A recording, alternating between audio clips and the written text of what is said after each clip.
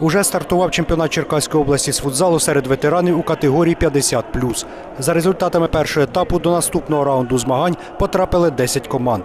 Це два колективи з обласного центру Вікторія та Хімік, а також Нива Маньківський район, Умань, Златокрай ЗМК Золотоноша, Панда Корсут Шевченківський, Шпола, Тельне ветеран, ветеран Чорнобай та Канів.